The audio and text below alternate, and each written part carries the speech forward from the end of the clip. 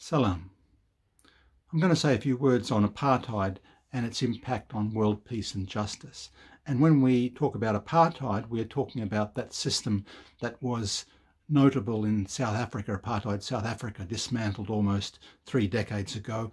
And as a result of that experience, we have a number of principles quite well set out in the Durban Declaration, the World Conference Against Racism, Racial Discrimination, Xenophobia and Related Intolerance, the Declaration and Programme of Action 2002, and its principal reference point today is to apartheid Israel, the colonisation, the apartheid state that exists in occupied Palestine today. So there's a great need to focus on the apartheid in Palestine today, and a couple of recent reports have outlined um, the problems and the character of that apartheid system.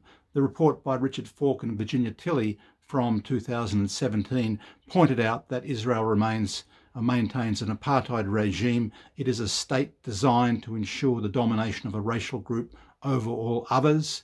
In four legal domains, it has laws which prevent Palestinian citizens of Israel obtaining equal rights.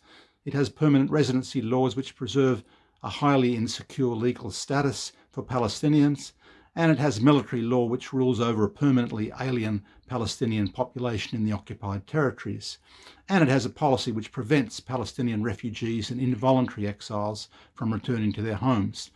Now, it should be obvious, and indeed it's spelt out well in this declaration, that apartheid is a form of injustice so severe that there can be no peace under that system. And that is why apartheid states are considered a crime against humanity and something that must be dismantled there is a universal responsibility to see the dismantling of those uh, apartheid states. International law, as Falk and Tilley point out, prohibits apartheid as a crime against humanity. Now, recently there was an Israeli report which said effectively the same thing, a legal opinion by Michael Sfard for the Israeli group Yesh Din, which pointed out that the crime of humanity, the crime against humanity of apartheid is being committed in the West Bank. The perpetrators are Israelis.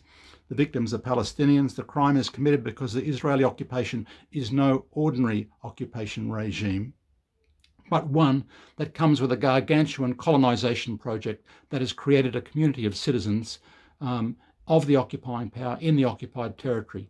The crime is committed because, in addition to colonizing the occupied territory, the occupying power has gone to great lengths to cement its domination over the occupied residents and to ensure their inferior status. The crime of apartheid has been committed in the West Bank because, in this context of a regime of domination and oppression of one national group by another, the Israeli authorities implement policies and practices that constitute inhuman, inhuman acts as the term is defined in international law. And that's why we're talking about a crime against humanity here, one that must be dismantled.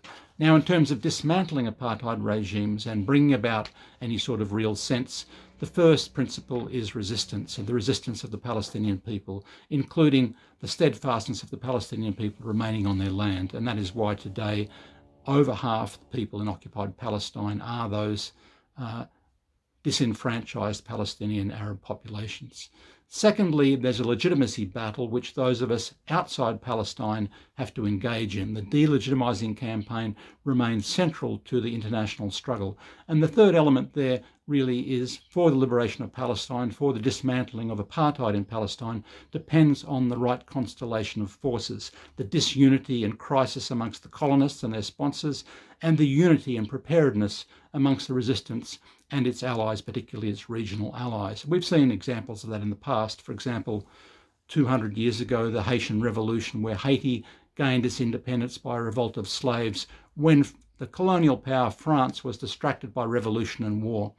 And more recently, two decades ago in East Timor, when the little country of East Timor gained and then reclaimed its independence both in the mid 70s and in the early part of this century following internal crises in the two successive occupying powers. So that's what I think we should stress and remember these days that resistance is the key, that legitimacy campaign internationally is the important corollary, and that the right constellation of forces is going to be define the moment in which apartheid can be dismantled in occupied Palestine.